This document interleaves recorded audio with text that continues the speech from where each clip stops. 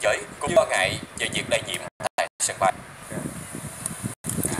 Theo đó, số khách thực tế nhập sân bay có 233, trong khi dự kiến ban đầu là khoảng 400 khách, hầu hết là người Việt về nước. Đây là những khách của 4 chuyến bay từ Đài Loan, Singapore, Nhật Bản, Macau. Bên cạnh đó, sân bay Tân Sơn Nhất nhiều nhất với 519 khách, Cần Thơ 336 khách, Cam Ranh 282 khách. Bộ Giao thông Vận tải đã yêu cầu Cục Hàng không các hãng hàng không phải dừng người Việt từ nước ngoài về sân bay Tân Sơn Nhất.